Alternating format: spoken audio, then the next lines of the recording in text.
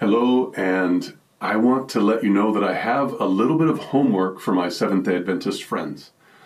You see, there's a quote that has been used so many times. It was originally written in 1901 by the hand of Ellen White, and it says this The Godhead was stirred with pity for the race, and the Father, the Son, and the Holy Spirit gave themselves to the working out of the plan of redemption.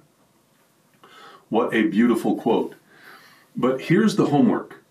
If you look at Patriarchs and Prophets, a book we all love, and go to the fourth chapter, if you read the fourth chapter of Patriarchs and Prophets very carefully and look for the characters involved, you will find the Godhead stirred with pity for the race, the Father, the Son, and the Spirit giving themselves to the working out of the plan of redemption for mankind.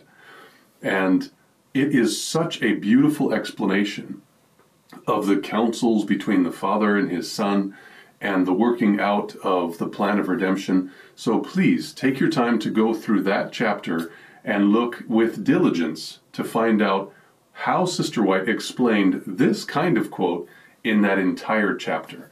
I think you'll find it quite fascinating, and may God bless you.